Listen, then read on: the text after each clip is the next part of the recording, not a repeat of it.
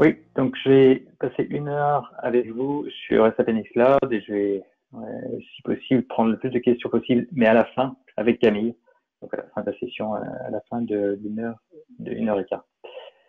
Euh, cette slide, vous l'avez vue ce matin, euh, donc je ne vais pas euh, m'attarder dessus. Christopher en a parlé euh, longuement, mais elle est quand même très importante pour, ce, pour finalement pour, pour prendre conscience de la, de, la, de la réalité, de votre réalité, de notre réalité, euh, sur le fait que et, et, finalement tous les investissements de SAP en découlent, euh, sur le fait que les, les dépenses et c'est vraiment frappant de plus en plus au fil des années euh, de l'IT euh, sont dans le cloud, en premise, ça stagne au mieux, qui se met en déclin.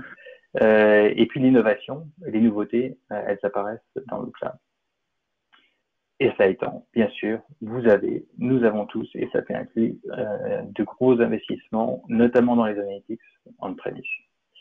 Et donc, de cette situation découle un dilemme, comment à la fois opérer euh, l'existant, euh, exécuter sur l'existant, préserver l'existant, et permettre finalement au métier de, continuer à fonctionner, euh, tout en étendant euh, le métier, en innovant, euh, en délivrant de nouvelles solutions. Et donc notre portfolio finalement reflète euh, exactement ce dilemme euh, avec SAP Cloud et Christopher ce matin en a parlé. Vous avez vu ces slides, quasiment la même. Euh, pour focaliser pour l'innovation, vers l'innovation, vers les nouveautés, vers des nouveaux usages. Euh, c'est aussi à l'intérieur de SAP la solution Analytics qui est retenue pour toutes les applications cloud du portfolio SAP. C'est énorme.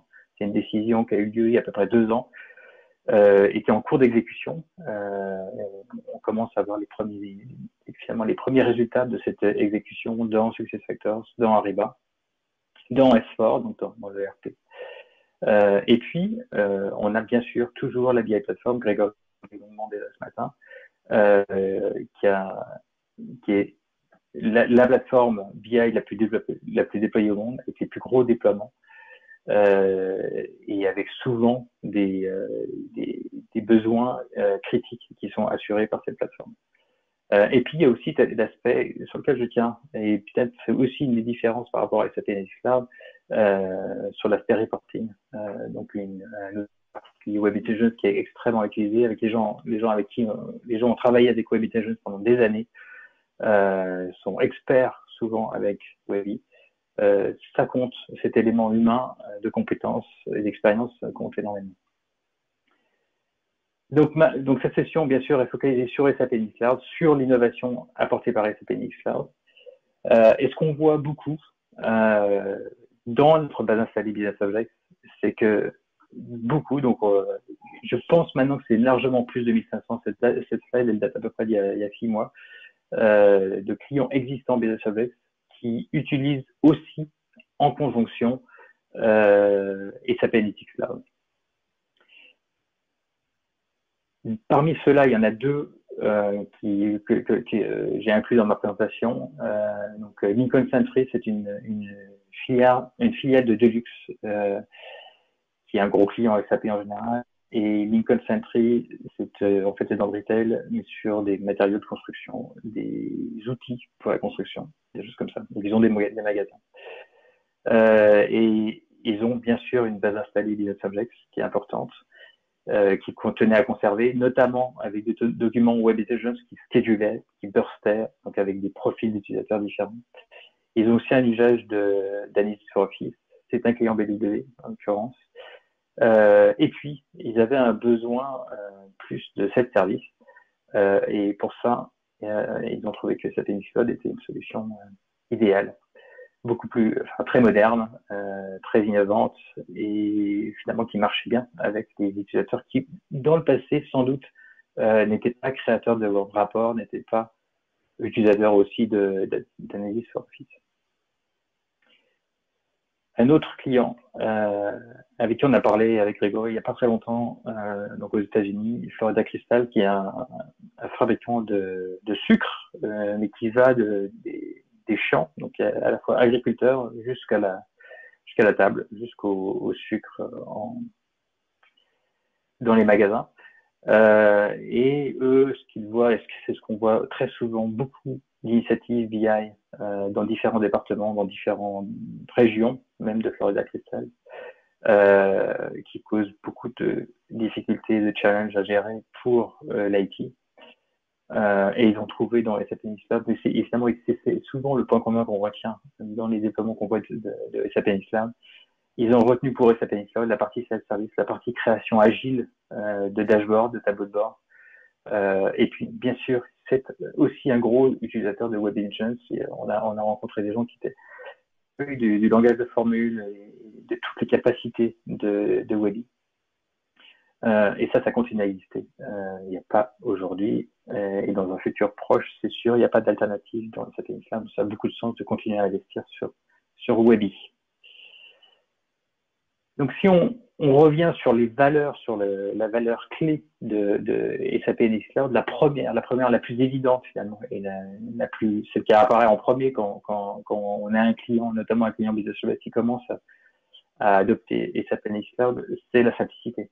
C'est du SaaS, vous le savez, donc software as a service. Il n'y a pas d'infrastructure, il n'y a pas de serveur à déployer. Euh, tout est géré par SAP. Euh, donc c'est d'une simplicité extrême. Les upgrades sont gérés, la partie sécurité est gérée, le failover est géré. Euh, donc ça simplifie. La montée en charge est gérée, donc ça simplifie énormément euh, votre rôle en termes d'opération quotidienne euh, d'une BI plateforme. Bien sûr, il y a toujours des tâches d'administration, il y a toujours un, un métier euh, IT et admin de la plateforme, euh, mais la partie pure infrastructure et soft, euh, elle, est, prise en charge pour vous. Ça, c'est un bénéfice évident. Et c'est euh, en fait fondamentalement, c'est pour ça que le cloud a autant d'adoption aujourd'hui. Pourquoi le SaaS a autant d'adoption aujourd'hui? C'est cette simplicité, cette réduction de finalement des coûts humains qui fait que c'est un, un choix très très intéressant. Le deuxième aspect, vous avez sans doute déjà aussi peut-être une version de cette slide-là, c'est l'aspect tout en un. Euh, donc dans cette plateforme analytique, dans SAP Nextcloud, c'est vraiment une plateforme, une plateforme euh, que l'on peut comparer à la BI plateforme, mais elle est plus large en termes de fonctionnalité puisqu'elle inclut à la fois des capacités de BI, euh, mais aussi des capacités de planning. C'est une plateforme très solide en termes de planning. Et combiner les deux, c'est très intéressant. Ça ouvre plein de scénarios intéressants. Par exemple, pour faire du what if scénario, c'est un, besoin fréquent de nos clients euh, en BI, pure BI, appliquer des scénarios. Euh, et ben avec le moteur de planning qui est inclus dans SAP Nextcloud, ça devient extrêmement puissant et, et, très très intéressant aussi pour les BI. Euh, et puis il y a une partie, c'est finalement l'essentiel de ma présentation là-dessus, là-dessus euh, sur l'augmentation euh, des capacités analytiques, à la fois des capacités du planeur et on, mais je parlerai plus des capacités de, de, BI, des utilisateurs BI, qui soient débutants, euh, utilisateurs occasionnels ou analystes chevronnés. C'est l'augmentation de ces capacités. Euh, c'est vraiment un sujet qui me passionne et on pourra éventuellement en reparler pendant, pendant la question. Donc, donc qu'est-ce que c'est que c'est l'augmentation de ces capacités? Donc, c'est pas quelque chose que SAP a inventé, dans un sens malheureusement, mais c'est une tendance du marché très lourde euh, que Gartner a vu émerger il y a déjà peut-être deux, deux ans, même peut-être presque trois ans. Et ça, c'est en fait une slide qui est reprise de Cindy Howden, euh, qui faisait à l'époque partie de, de Gartner, euh, sur les générations. En fait, c'est les, les générations de plateformes BI ou générations de plateformes analytics et auxquels ils font figurer donc les, les, les Cognos ou les business objects comme les, solutions, les plateformes basées sur les sémantiques layers. Il y a ensuite une nouvelle génération des années 2010 de Data Discovery et notre outil là c'était Lumira, donc qui apportait clairement une valeur en termes d'agilité, de flexibilité. Euh, et puis euh, maintenant, il y a une nouvelle euh, génération de plateformes utilisant les technologies prédictives qui sont pas euh, enfin, qui sont juste une extension, qui sont une addition en fait, euh, donc qui au-delà de la simple data discovery ajoute euh, un aspect assisté, augmenté par le logiciel. Euh, donc augmenter les capacités des utilisateurs, augmenter la capacité à penser, à répondre à des questions. Voilà, voilà toute l'idée autour d'Augmented Analytics. Et donc, comment on augmente concrètement euh, les capacités d'utilisateurs euh, en l'occurrence BI, dans dans SAP Nextcloud, mais de deux façons, et de, façon très transparente, de, de façon où on ne fait pas un choix en avance de phase. On peut tout à fait imaginer augmenter ses capacités euh, a posteriori faire des dashboards très classiques, très standards, créés par l'IT, c'est. Euh, et puis ensuite augmenter la consommation. Euh, donc dans mon tableau de bord, dans ma story, j'aurai des nouvelles capacités qui me permettront finalement d'avoir une analyse plus poussée, des choses que je n'aurais pas trouvées autrement, ou où j'aurais mis énormément de temps à, les trouver. Euh, un aspect essentiel là-dessus, et sur lequel j'espère qu'on aura l'occasion de revenir, c'est euh, les modèles de données. Très souvent, dans le passé, on a fait des modèles de données simplifiés pour que l'analyste, en particulier, puisse euh, comprendre en fait de quoi il s'agissait, avoir un domaine logique, euh, un domaine métier. Avec les analytics, on peut changer ça, on peut étendre, on, peut créer des modèles de données beaucoup plus larges, parce que c'est SAP Mixer dans l'occurrence, qui va simplifier la tâche de l'analyste et, et, rendre en fait ce modèle de données très compliqué euh, beaucoup plus simple et finalement on bénéficie lui en termes d'algorithme va bénéficier de cette complexité euh, pour une restitution pour une consommation euh, extrêmement facilitée et simplifiée. Et puis il y a un deuxième aspect euh, qui est la partie automatisation des modèles de données. Euh, donc au lieu d'augmenter la consommation, j'augmente les modèles, j'augmente les données, j'enrichis les données avec des risques, des forecasts, des, scores, des opportunités. Euh, donc là, la consommation est identique, ou on peut l'imaginer identique, euh, mais par contre, les données sont augmentées. Et donc là, c'est un, une fonctionnalité du produit qui s'appelle Smart Trading, qui permet cette, capacité, et en l'occurrence qui est développée à, Paris. On a une citation d'un de, nos clients en Belgique euh, sur l'usage du prédictif euh, pour utilisateurs dans son, dans son organisation. Et donc, je vais tout de suite passer à la démonstration. Euh, donc, mon but ici, c'est vraiment d'illustrer cette augmentation-là. Euh, et donc, je vais commencer, bon, ça pourrait être par une source quelconque, mais je vais commencer donc par un fichier Excel. Donc, c'est une, une, liste d'ordres de commandes. Et je fais un drag and drop donc, dans mon interface de SAP Nextcloud. Je vais passer en plein écran, pas la peine de perdre de la place. Euh, donc tout dans SAP Nextcloud est fait en euh, euh, est fait via le web. Toute la partie administration, toute la partie euh, bien sûr consommation euh, est faite via un browser. C'est aussi une des beautés, une des facilités de la chose, c'est qu'il n'y a aucun déploiement on-premise euh, d'outils clients euh, nécessaire. On peut utiliser Analysis for Office euh, si vous le souhaitez, mais c'est absolument pour les utilisateurs qui sont vraiment accrochés à, à Office et à Excel, euh, mais c'est pas, c'est complètement optionnel. Donc, une fois que j'ai fait ce drag and drop dans euh, dans l'interface de SAP Cloud et que j'ai uploadé ce, fichier, ces données, euh, eh bien, j'arrive dans cette euh, interface d'exploration qui sera, pour ceux qui connaissent SAP Business Objects Explorer, une expérience très similaire, sur lequel, eh bien, en fait, je peux naviguer extrêmement facilement euh, dans les données. Et donc, une chose intéressante, et c'est une des premières formes d'augmentation euh, qu'on voit dans SAP Nextcloud, c'est que c'est que l'outil a compris euh, les données ou a inséré les types de données en fonction euh, bah, des colonnes et leur du contenu des, colonnes de mon fichier Excel. Et donc il a compris que mes commandes étaient une mesure. Donc je peux cliquer dessus et obtenir tout de suite le total de mes le total de mes commandes pour toutes les années, pour tous les produits confondus. Euh, et puis je peux tout de suite faire euh, du slice and dice et naviguer dans mes données très facilement, euh, par exemple par euh, statut client. Je peux aussi naviguer par euh, par date. Donc ça a compris, l'outil a compris qu'il s'agissait d'un champ date. Non seulement il a compris qu'il s'agissait d'un champ date, mais il m'a créé à la volée une hiérarchie, ou en, en l'occurrence même plusieurs types de hiérarchies, des hiérarchies de date, de temps, dans lesquelles je peux naviguer. Euh, et, et Cloud, comprenant que c'est euh, une, dimension de type date, eh bien m'affiche. Euh, et ça, c'est très similaire à ce qu'on trouve dans SAP Business Explorer. Le graphique le plus adapté à la visualisation au cours du temps, qui est très, clairement un, graphique en ligne. Donc ça, c'est la première étape. Une fois que je suis j'ai trouvé ce qui m'intéresse, par exemple, euh, Customer Status, je peux le copier vers une des, des pages de, mon tableau de bord. Et là, donc, je passe dans l'interface plus, plus classique de construction de, de construction de stories, donc c'est le nom des artefacts dans SAP donc de tableau de bord.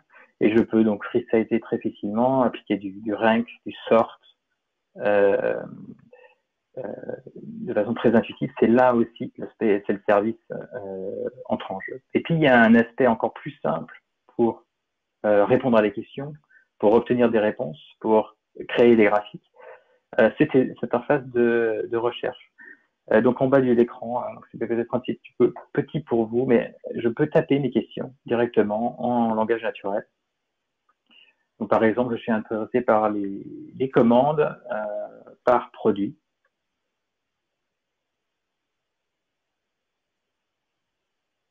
Et donc, je tape cette question et je tiens immédiatement une réponse.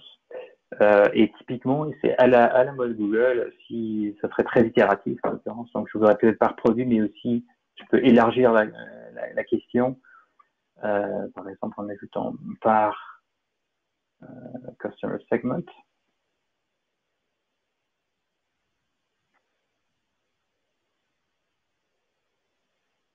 Ça va me rajouter des segments. Mais je peux aussi être plus spécifique. Euh, bon, par exemple, donc il s'agit en l'occurrence de quoi je suis un fournisseur, un fabricant de trains, donc je, vends et j'ai des ordres de commande pour des trains. Euh, donc je peux restreindre au M401 comme ça, donc un train spécifique. Et ça va m'appliquer un filtre euh, sur un train. Je peux aussi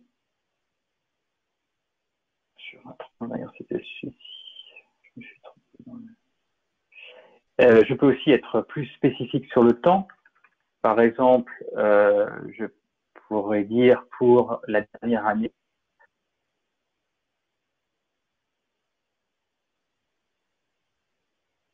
et ça va m'appliquer un filtre euh, sur le temps, donc la dernière année, l'année précédente, donc 2019. Donc, il y a une intelligence aussi au niveau du temps qui est, qui est assez intéressante. Donc voilà, ça peut être très itératif comme recherche. Une fois que j'ai trouvé ce qui m'intéressait, par exemple un graphique très simple, celui-ci, je peux, euh, comme on vient de le faire avec Explorer, le copier sur ma page et retourner à mon tableau de bord. Donc là, je vais le déplacer sur deuxième colonne, deuxième ligne. Et là, donc, ça me donne en fait le, le montant des commandes par type de par type de train, ce qui est intéressant. Mais et donc, par exemple, je peux remarquer que bah, pour les trains R 179, euh, le montant des commandes est plutôt faible et par contre pour les M1 autopilote, le montant est, élevé. Mais ça ne me dit pas pourquoi. Et c'est une délimitation classique euh, des outils actuels, c'est que je n'ai pas forcément l'explication euh, sur les valeurs que j'obtiens, sur les données, que je, les résultats que j'obtiens à mes réponses. Et donc ça, c'est un des éléments qui est le plus populaire dans SAP Cloud en termes d'augmentation, c'est que je peux, avec un clic, euh, ajouter un footer ici qui va analyser en fait euh, mes données, donc mes, commandes, mes commandes d'achat de train, euh, et qui va me donner des informations supplémentaires et qui me dit bah, en fait que le M1 autopilote a une contribution est, 22% au-dessus de la moyenne de mes, de mes commandes et que sa variation est de façon significative influencée par les pays, par un pays en particulier, par la Chine. Et donc la Chine ne fait pas partie de ces données. Hein. C'est frappant. Euh, en fait, ce qui se passe, c'est que l'algorithme va scanner en fait toutes les dimensions de nos modèles de données euh, et, euh, et, analyser ces, dimensions et voir là où les variations les plus, sont les plus significatives. Donc, ça vraiment, c'est une aide pour l'analyse qui est qui a, qui a, beaucoup de succès, dire, euh, et qui est appréciable et qui est d'une très grande simplicité euh, à, utiliser. Je peux aller plus, en, plus loin en cliquant sur le sur le footer ici euh, et donc je vois, bah, le, je peux voir le détail par, par pays de, mes, de mes commandes. Je peux voir aussi l'évolution dans le temps. L'intelligence qu'on voyait dans le search sur le temps, elle est aussi présente ici. Et donc je vois une variation euh, entre entre le premier trimestre et le, entre pardon. Donc on, je vois la valeur pour le trimestre courant euh, jusqu'à maintenant, jusqu'à mi-mars. Euh, et puis je vois une comparatif entre les deux trimestres précédents, donc Q4 qui est achevé euh, qui a montré une augmentation de 57% par rapport au, au, au, trimestre précédent, donc euh, au trimestre, au troisième trimestre 2019.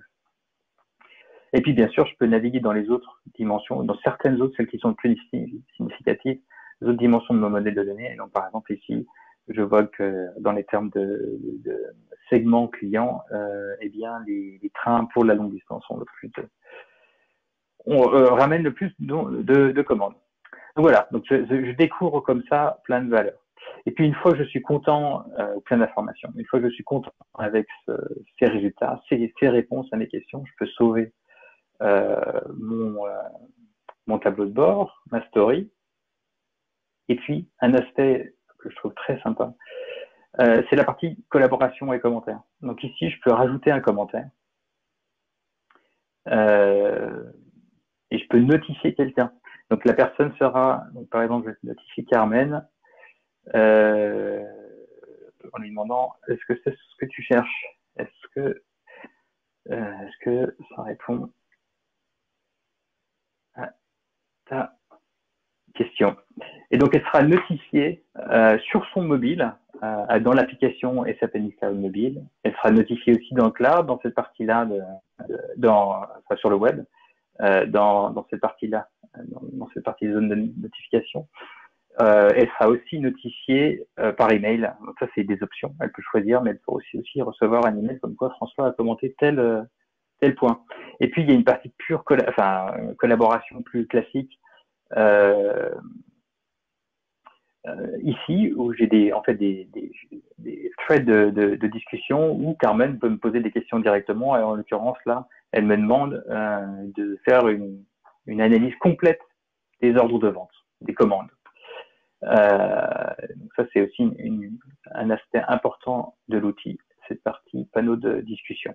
Et donc, si on revient sur euh, sur mes données d'origine, euh, les voilà. Euh, donc, elles sont riches. J'ai beaucoup, beaucoup de commandes pour différents clients dans différents pays, pour différents segments, etc pour différents types de produits, différents trains. Et donc faire une analyse complète de ces données, ça me prendra du temps. En l'occurrence là, le dataset n'est pas d'une complexité monstrueuse. Hein.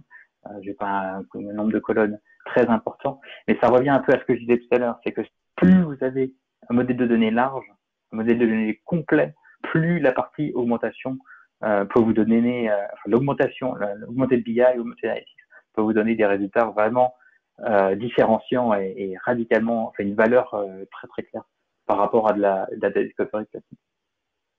Et donc si je reviens sur SAP Cloud et OK, je vais essayer de répondre à Carmen et avoir une analyse complète euh, de, de mes données, de mes commandes euh, de train.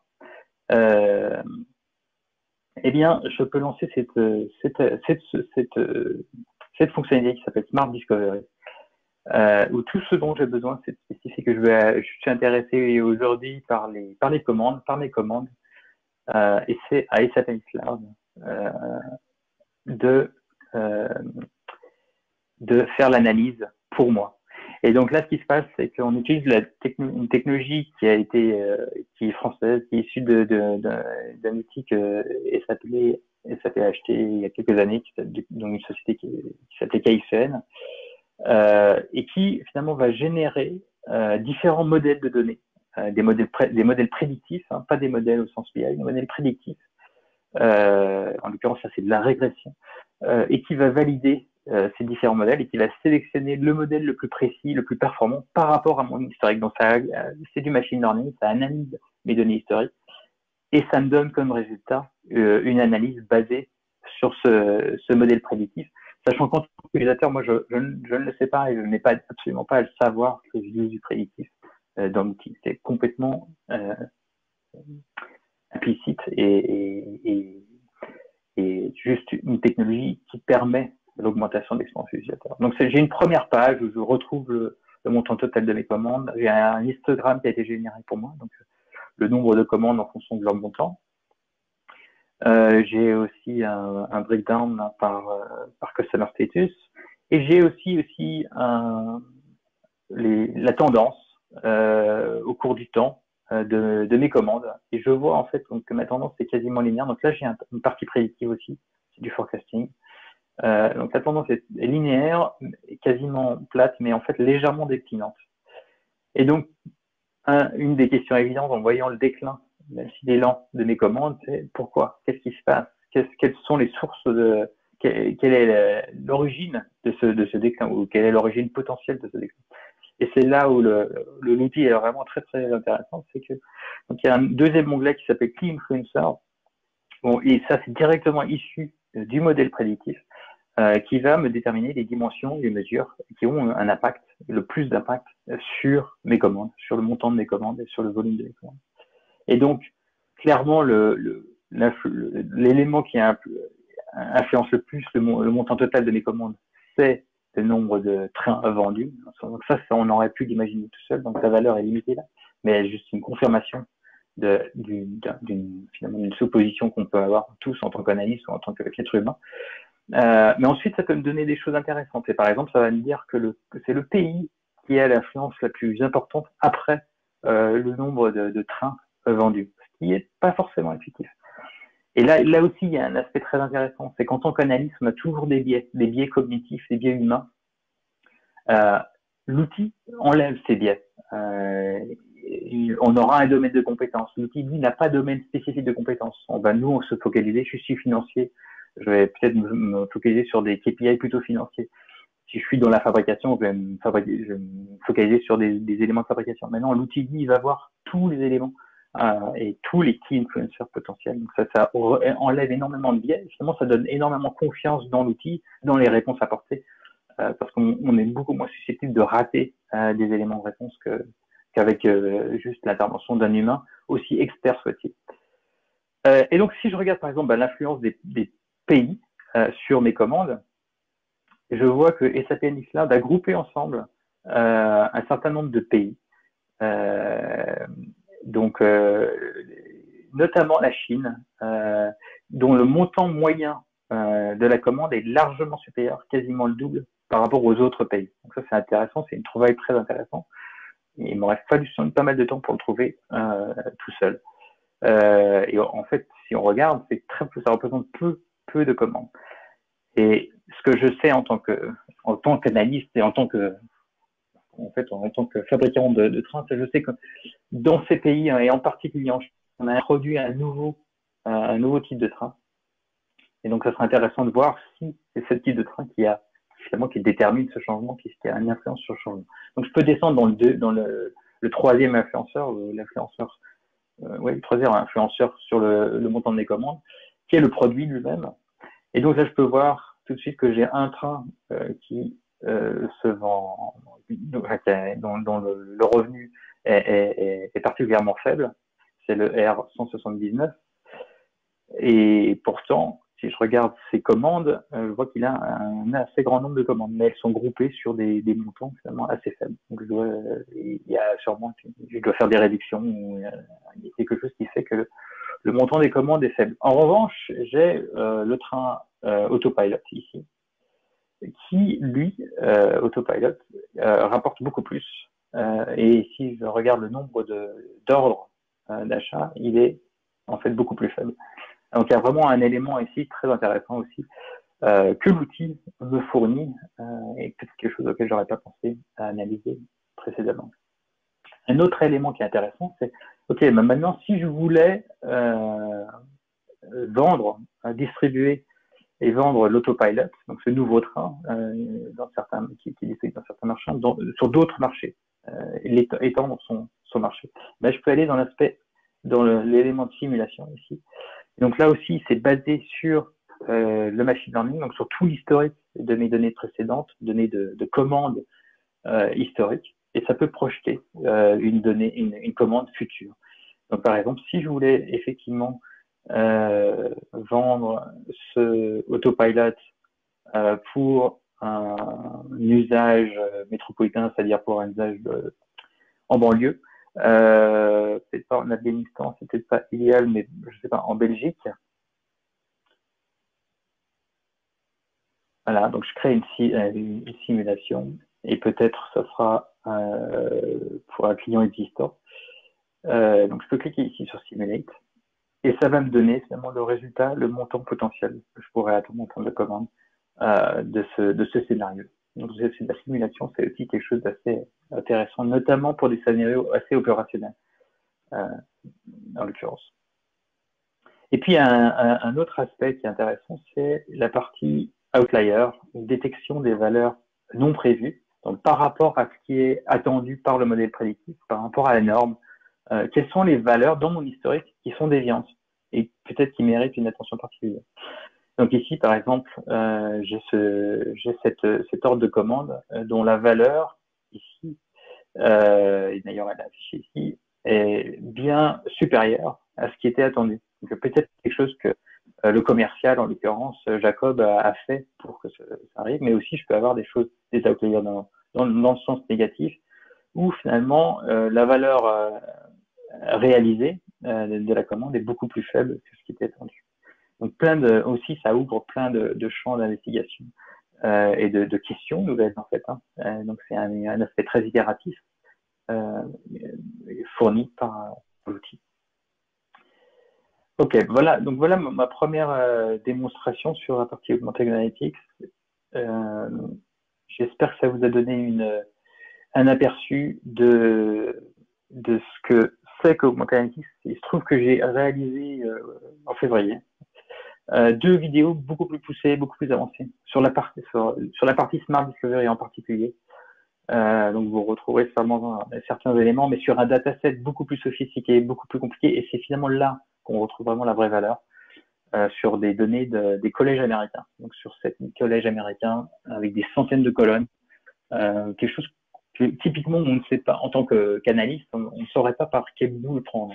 C'est trop compliqué, trop sophistiqué, il y a trop, de mesures trop de paramètres, trop de dimensions. Euh, que faire avec un, modèle de données pareil? Avec des sources de données, donc c'est le, le, département de, de collège des États-Unis, enfin le département d'éducation aux États-Unis qui a mis ça en place en à partir de 2015, euh, des données qui sont issues de plein de sources de données différentes, notamment des universités et des collèges, mais pas seulement.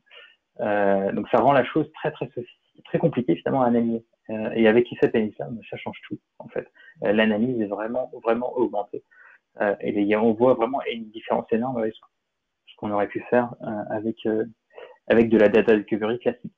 Ça ne veut pas dire que la discovery classique n'est pas intéressante. Elle est en fait super intéressante en combinaison. Les deux sont très complémentaires les uns l'un avec les autres. Parce que et la partie augmentée nous donne des informations supplémentaires et ensuite on peut analyser soi-même, euh, explorer soi-même euh, notamment avec la partie Explorer dont, dont je vous montrer euh, les, faits qui ont été découverts par, par l'outil. Un autre aspect très important, c'est la partie contenu. Euh, ça, vous le savez peut-être, mais donc avec SAP on, fournit du contenu prédéfini. Donc chaque tenant, euh, chaque euh, oui, chaque tenant a, a, du contenu basé sur euh, différentes applications SAP et non SAP fournies par des partenaires. Euh, donc, en l'occurrence, par exemple, sur SuccessFactors, sur Effort, on a plein, plein de contenus dans, pour différents métiers, pour différentes zones d'activité. Euh, du, du, contenu prédéfini qui est réutilisable tel quel, mais qui souvent sera juste un point de départ euh, pour euh, pour vos propres analytics. Donc c'est un gain de temps, gain de temps et de productivité très intéressant. il y a les modèles de données. En fait, les gens sont aussi très très intéressés par les modèles de données sous-jacents. Comment finalement on construit de l'analytique sur ces données opérationnelles issus de, des applications SAP opérationnelles.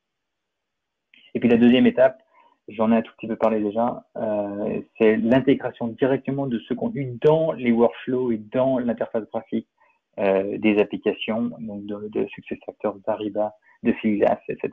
Donc ça, c'est en cours. C'est un travail énorme. Euh, et bon, on a déjà des éléments. Par exemple, dans s en, en, en, novembre dernier, il y a eu les premiers, premiers dashboards SAP Cloud qui ont été réalisés. Euh, et dans, dans SuccessFactors, c'est euh, en Q2, on aura la G1 de SuccessFactors avec cette année Cloud comme, comme outil d'analytique. Euh, un autre élément important, et j'en parle parce qu'on en parle peu, et pourtant c'est une innovation plus significative de disons de la dernière année.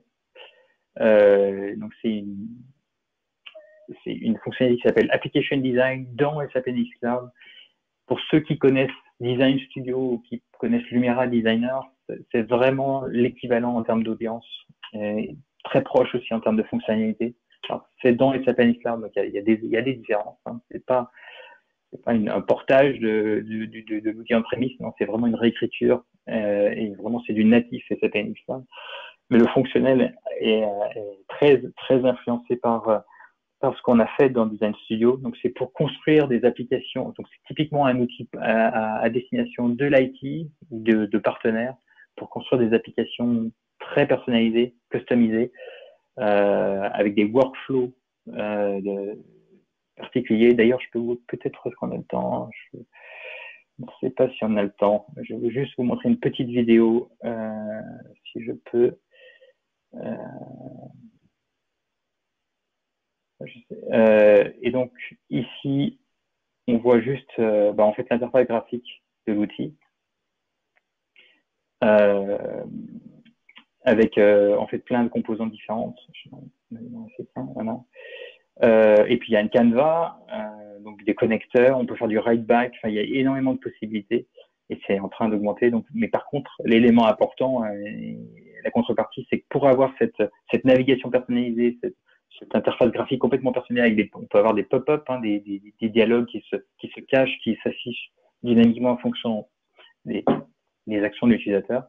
Euh, eh bien, il y a une logique de script. Donc, c'est du JavaScript, c'est un sous-ensemble de JavaScript.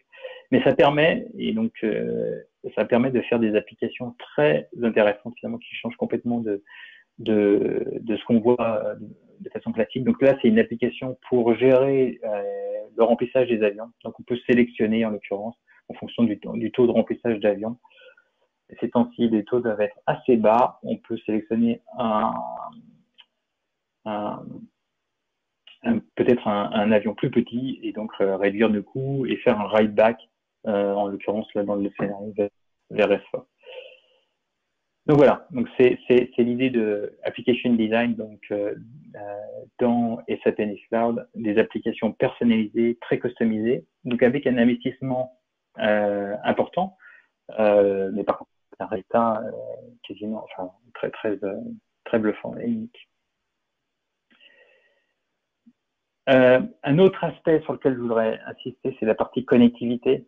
Euh, avec SAP Cloud, on a une connectivité, ce qu'on appelle live connectivité, une connectivité live sur un ensemble de sources de données, à la fois cloud et on-premise. Et en l'occurrence, c'est très utilisé pour le on-premise, avec ANA, avec, euh, avec notre RPS4, avec BW et avec les univers. Euh, donc, euh, donc ça permet en fait de mettre à profit la sémantique. C'est particulièrement le cas avec BW où la sémantique est extrêmement riche, extrêmement sophistiquée, la sémantique métier, euh, la notion de variable, de hiérarchie, de dépendance, de, de, de, de dimension ou de hiérarchie qui dépendent du temps. Euh, ça c'est dans BW. La notion de conversion de devises qu'on peut avoir dans BW ou dans ou dans ANA. Euh, la notion de sécurité qu'on retrouve aussi dans les univers, donc la partie sécurité sur les données. Euh, tout ça, c'est des, des, éléments très intéressants. Il y a eu énormément d'investissements dans le passé, euh, en prémisse. Euh, et donc, avec la connectivité, on peut mettre à profit ces autorisations, cette sécurité, cette sémantique euh, directement dans SAP Cloud sans transférer les données vers SAP Cloud, ce qui est aussi un élément souvent, de moins en moins, mais encore souvent important euh, dans le choix de, la, du type de connectivité qui est choisi euh, puisqu'ici, les, données ne, sont pas transférées euh, euh, à l'extérieur du réseau d'entreprise, en l'occurrence si l'utilisateur est dans, le réseau d'entreprise. Donc un petit focus sur les univers dans ce contexte-là. Euh, donc la connectivité live aux univers sur la BI plateforme a été introduit avec SP5. Euh, je pense que c'était il y a deux ans maintenant. Euh, et donc au fur et à mesure, cette connectivité a été améliorée. Euh, donc je reviendrai pas sur les détails, mais le, le point important vraiment, c'est que, et je vais essayer de faire une petite démo, il me reste un quart d'heure euh, sur ce point-là, c'est que seulement les métadonnées de, des univers, en l'occurrence les dimensions, les mesures, éventuellement les valeurs de prompt et les, et les, et les, les prompts d'univers, mais, mais en fait exclusivement que les métadonnées sont stockées dans SAP Cloud. Les données, elles, ne transitent pas par SAP Cloud. Elles vont directement euh, du browser euh, vers, enfin, des données de, de, la source de données, donc de la plateforme et de la source sous-jacente vers le browser. Euh, donc ça, c'est un élément très important. Et donc, au fur et à mesure, on a amélioré le support des univers. Donc, il y a, en fait, il y a, il y a, il y a deux efforts conjoints. Un, pour mieux supporter les fonctionnalités fournies par SAP Cloud euh, à tous les niveaux. Et puis mieux supporter bah, les, fonctionnalités offertes dans, par les univers qui sont disponibles dans Webby, qui sont pas forcément disponibles dans SAP NX Cloud. Et puis la grosse nouveauté qui va venir, et je pense que Valérie, vous en avez sûrement parlé ce matin, si ce n'est cet après-midi, c'est la partie euh, connexion aux documents. Donc c'est l'étape suivante. C'est après, euh, après les univers, on peut se connecter aux documents Web Intelligence en live. Euh, et donc l'avantage là, l'intérêt, c'est de mettre à profit l'investissement important qui a été mis sur des documents euh, avec des queries, des, blended queries, donc des queries euh, multiples, des calculs avancés. Euh, on a beaucoup, beaucoup de clients qui ont investi beaucoup sur des, des, des documents très sophistiqués qu'on pourrait éventuellement penser à recréer dans SAP Cloud, euh, mais à quel coût euh, et alors qu'on pourra très bientôt l'utiliser directement ces, ces, ces, documents validés directement pour construire des stories, des tableaux de bord dans SAP Cloud et encore tout en laissant les données en, en local dans le réseau d'entreprise. Là, c'est un aperçu des, données, des, différents types de connectivité de, de SAP Cloud. Donc, ce qu'il faut garder en tête, c'est bien sûr qu'il y a aussi des, connectivités d'import. On charge les données euh, dans SAP Cloud. C'est intéressant d'abord parce qu'il y a plein de sources de données qui ne sont pas supportées en live, et puis aussi parce qu'il y a des fonctionnalités euh, qui ne sont pas supportées en live, qui ne sont supportées qu'avec les données importé dans SAP Et donc là, je vais vous faire une petite démonstration euh, de, de la Live Universe Connectivité. donc, je vais revenir sur ma page d'accueil. Je vais laisser ce tableau de bord.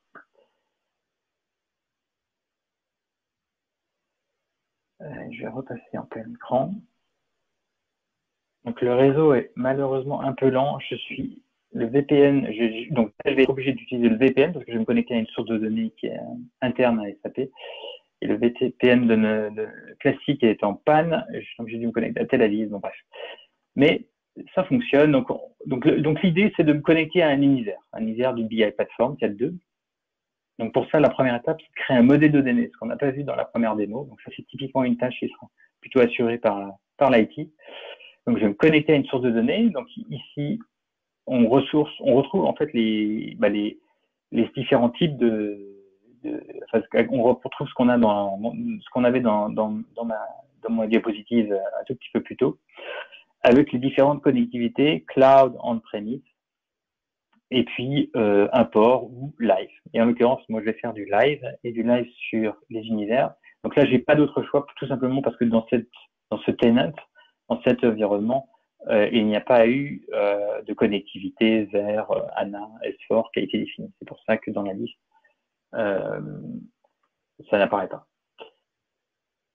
Donc là, je, me log à ma BI plateforme avec un, login pour la BI plateforme.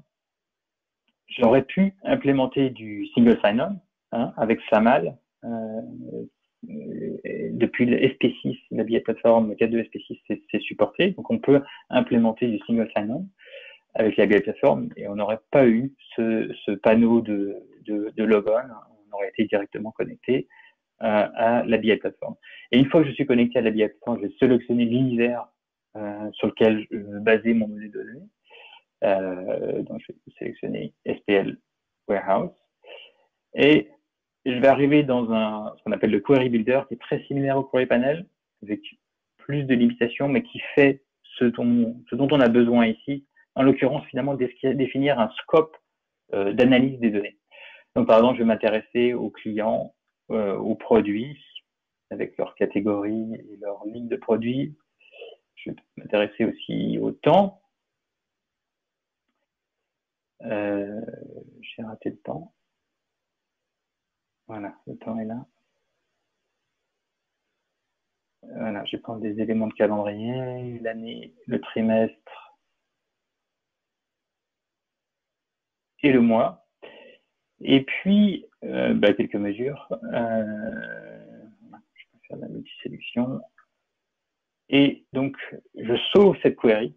Donc, en l'occurrence, là, gardez en tête, les données ne sont pas récupérées. Je n'ai pas les données qui sont euh, disponibles dans SAP Analytics Lab. Je n'ai que les métadonnées. Et les métadonnées, encore une fois, qu'est-ce que c'est? C'est la liste de mesures euh, que je ne veux pas éditer. Elles sont, définies. Puis les listes de dimensions. Et c'est à peu près tout. Donc, je pourrais aussi accéder éventuellement aux prompts si j'avais eu des prompts sur mon annuaire. Ou si j'en avais défini d'ailleurs. Euh, donc une fois que j'ai créé mon modèle, vous voyez, c'est très très simple, très rapide. Euh, je vais le sauver. Donc euh, sauver mon année. Donc on va dire euh, warehouse univers.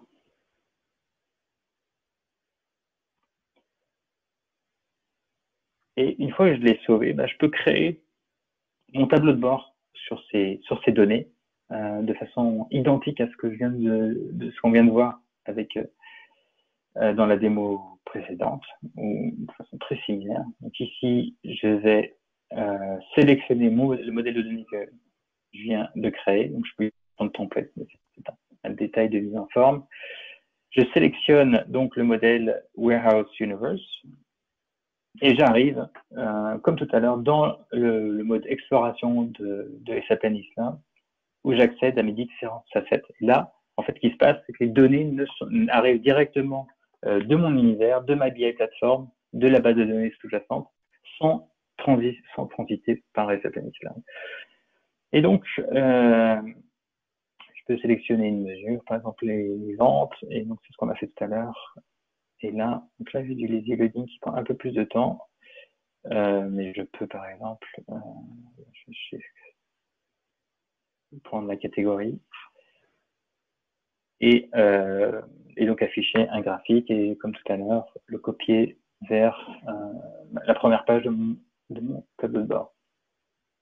Et puis, j'ai une façon très, beaucoup, plus classique de créer euh, des analyses, des graphiques euh, directement dans mon Canva. Ici, donc par exemple, je fais un bubble chart qui va faire une corrélation entre euh, la quantité vendue de train par rapport au coût de la vente, donc cost of sales, et puis la taille. Euh, bah, je vais faire un petit calcul euh, comme ça qui sera le taux de réduction donc discount divisé par euh, le, montant de la vente. Je donne un, nom à cette mesure calculée et elle va être utilisée dans mon graphique. Et puis bien sûr, pour faire un bubble chart, j'ai besoin aussi d'une dimension euh, pour, pour afficher mes, mes bulles. Euh, donc en l'occurrence, on va prendre les produits, donc mes trains.